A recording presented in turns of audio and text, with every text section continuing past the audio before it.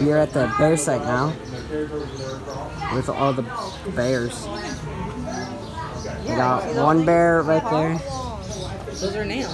This man over here. This guy would shoot for that thing. What a beast. I was more than positive there was a cub, but I guess I guess not. Yeah,